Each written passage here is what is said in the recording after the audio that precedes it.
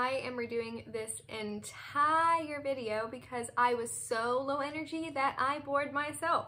So let's do this again now that I've already had a good portion of my coffee. So, good morning. I am so happy to see you today. So glad that you could join me for a little bit of coffee or tea or whatever it is that you are drinking. Let me know what you've got down there in the comments. Today I am having some almost finished iced coffee with some Califia Farms mint chocolate creamer because it's one of my favorites and it is only 15 calories a tablespoons a tablespoons which means that I can have many Again, let me know down in the comments what you are drinking with me today. If you are drinking something, having some tea or coffee, go ahead and let me know. If you have any suggestions for stuff that I should try on this channel, please let me know. That would be amazing. If you would like to join me and us three to five times a week for a little bit of morning tea time, coffee time, hangout, chatty hour, go ahead and press the subscribe button and click the little bell next to it so that you know every time that I post and we can hang out the same day. I think I'm getting slightly better at doing the YouTube thing. Um, I don't know. Let me know uh, if you if you want to let me know. Leave this video a like. Yeah, I, I did that really well. Today, as I mentioned in a previous video, I am going to talk about um, what yoga versus what lifting has taught me about my body and rebuilding my relationship with my body after having suffered with dysmorphia, which that never goes away. I obviously still have my moments, but um, for the most part, I am tremendously better than where I used to be. Spoiler alert, I still do both of those things. They both make me feel amazing and they both have their value as far as what they add to my daily experience. When I was young, I was obese. I lost the weight, however, my relationship with my body was tumultuous, to say the least about that. Also, I know I had nail polish on the last uh, video. I can't wear regular nail polish. I will peel it off the same exact day. So that's why I do polygel nails at home by myself Anyway, so my relationship with my body was very damaged from my experiences. I judged each and every piece of my body. My body felt so discombobulated and disconnected. I felt like my pieces of my body didn't look the way that a human body was supposed to look. And I was constantly, constantly comparing myself to others and wishing that I lived in any other body except my own. There was such a huge disconnect between me and my body, and this showed especially on stage whenever I'm performing. Um, I did theater in high school, I did chorus in high school, I am an opera singer, I take voice lessons and do recitals and perform. Um, but like I did not know how to emote through my actions. I would not know what to do with my arms. I was such an awkward mover, awkward dancer. I just, I could, I didn't know how to translate what was going on in my head through my body because to me, they were two different entities. There was me and there was the body that I lived in. The thing that really started to bring me back in touch with my own body and rebuild that relationship that I had with it was fitness.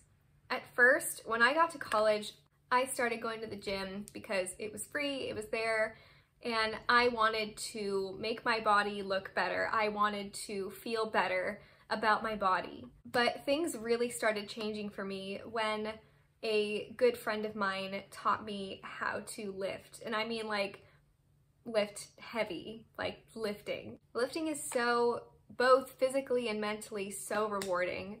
I remember that this is when I started to really appreciate my body. I was seeing it get stronger and stronger and do amazing things.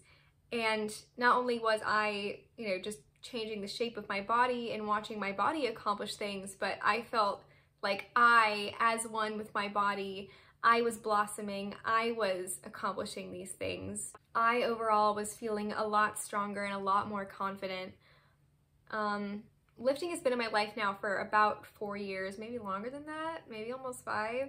And I obviously still do it. However, I do it a lot less these days because I don't feel super comfortable going to the gyms right now with our current situation, so I don't go very often, um, and I don't have big lifting equipment in my apartment. There was a while, and I still do this sometimes, where I will lift bags of cat litter because that is the heaviest thing that I have in my house.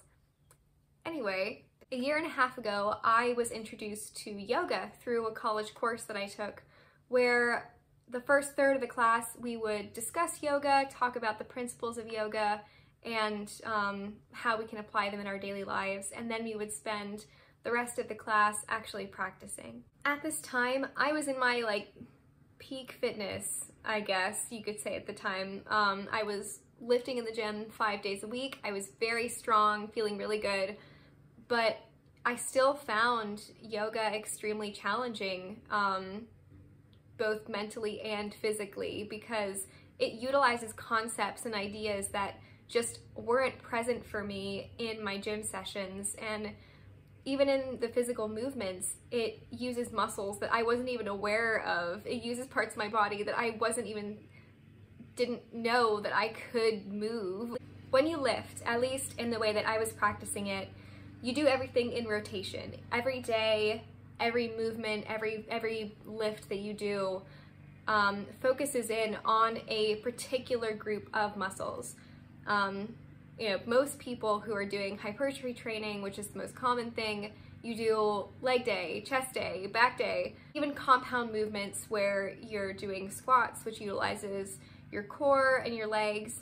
It is still focusing on a specific group of muscles versus in yoga, the entire concept is to bring awareness into the full body. It starts centered with your breath and you have to bring awareness into you know all the way from the tips of your fingers to the angles of your hips to what your toes are doing whether your weight is in the ball of your foot or your heels what your core is doing what your face is doing it's all about every bit of your body working in harmony to create balance both mentally and physically in the asanas which those are the poses Lifting taught me to appreciate my body and how amazing my body was and to do the amazing things that it's capable of. Yoga helped me reclaim that connection with my body, that mind, body, spirit connection that I was missing. It brought my mental awareness and my spirit back into my body, grounding myself back into my body as a whole.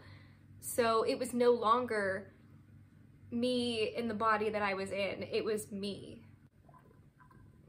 In this combination of exploring fitness and what my physical body is capable of and becoming more aware of my body and getting to know my body better, this has been an incredible outlet for me as far as rebuilding that relationship with my body that I'd suffered for so long under years of dealing with dysmorphia.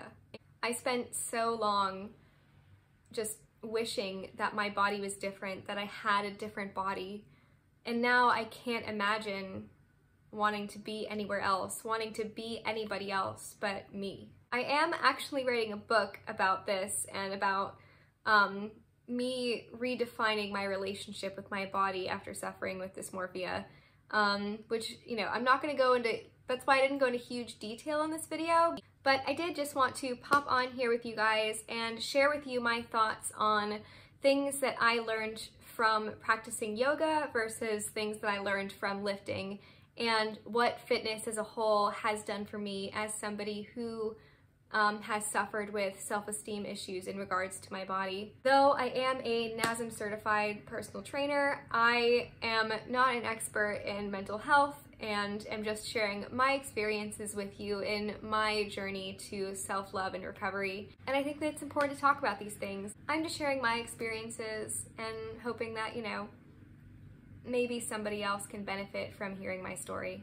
So let's chat in the comments, whether you're somebody who does yoga, is into fitness, or is not at all. What's your perspective on this? I will be responding to comments as long as the video is still new. Or just, you know, drop a comment and tell me how you're doing today. What are your plans for today? What are you drinking? What do you got going on? I want to thank you very, very much for joining me today for a little bit more of a serious talk over coffee. Not all my videos are like this. Um, it's mostly just you and I getting together in our pajamas and talking about whatever's going on in our minds. Go ahead and subscribe if you would like to meet with me three to five times a week. I would be super, super happy to see you there. Um, it's again, we're still in a in a certain global situation in which we don't really get to, you know, meet people for coffee and chat with each other. So I thought maybe we could do it here. You can follow me on all of the social medias listed below at Broke Goddessery, and you should also subscribe to my blog's email list, which I will include the link to my blog down below. Clearly, I am still working on doing the whole outro thing, cause, uh, yeah. Anyway, I love and appreciate you all so, so, so much. I hope to see you again tomorrow. Bye.